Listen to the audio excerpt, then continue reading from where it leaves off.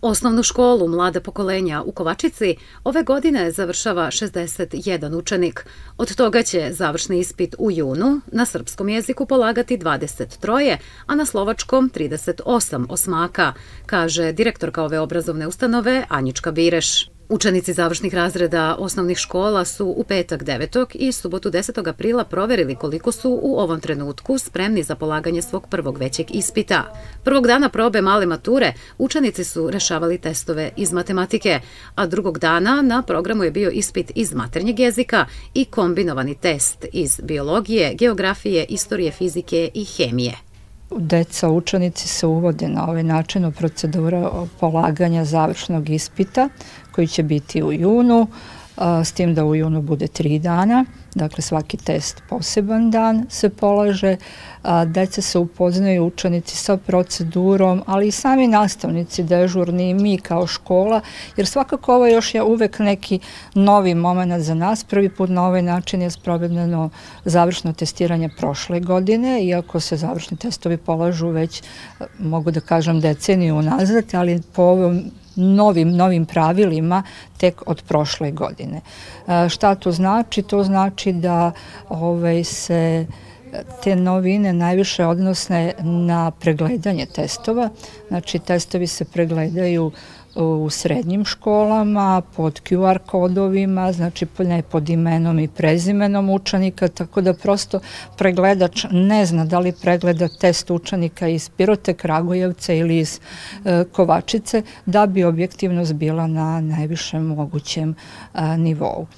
Sama ta procedura zahtjeva normalno i pripremu gde svaki test ima svoju omotnicu, ne sme da se razvoji test, razdvoji test od omotnice jer na taj način onda se gube informacije učenike, tako da stvarno disciplina i dežurnih nastavnika i odeljenskih starešina i pregledača i školi kao organizatora, supervizora mora biti na tom najvićem nivou. Zbog epidemije koronavirusa, kao i prošle, i ove godine moraju da budu ispoštovane sve preventivne mere, što je i urađeno na ovom probnom testiranju, navodi Birešova. Za razliku od prošlih godina, e, kada je e, testiranje bilo u fiskulturnim salama, znači svi učenici u jednoj prostoriji, ako je škola imala mogućnosti za to, Ove godine i prošle godine zbog pandemije znači radi se testiranje u učionicama. Maksimalno u učionici može da bude ovaj 15 učenika, s tim da svakom bude obezbeđeno 2 kvadratna metra i dežurni nastavnik je jedan u učionici sa učenicima, a jedan se nalazi ispred vrata i on koordinira, znači, odnosno pravi most između uprave škole, to je predsjednika i supervizora i dežurnog nastavnika u učionici prosto, kažem, to je neki novi moment na koji smo morali da budemo spremni. Što se tiče prošlogodišnjeg e, pravog završnog testa, tu je bio maksimalan broj učenika do 9 učionici. Sada je to pojačano na probnom testiranju na 15. Vidjet ćemo šta će biti u junu kada bude pravo testiranje. U kojoj meri se rezultati učenika razlikuju na probnoj maloj maturi u odnosu na sam završni ispit, direktorka Kovačičke osnovne škole otkriva.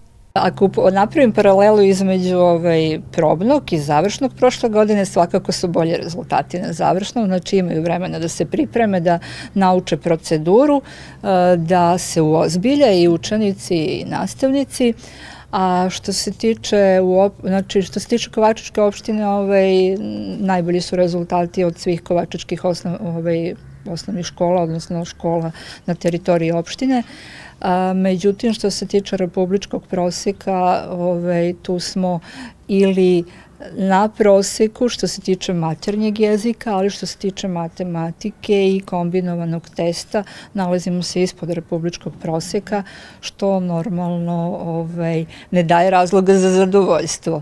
E sad, e, svakako uvek može bolje, ima puno faktora koji utiču na to, to je prosto tako novi moment, nova situacija i za učenike, ima tu malo i treme, ima tu malo i presije možda od roditelja, ali svakako ono što utiče na rezultate testiranja u Kovačici i Padini jeste i to da deca upisuju školu u Slovačkoj gde su već primljena, pa samim tim pada interesovanje, ovaj, odnosno motiv da budu rezultati bolji.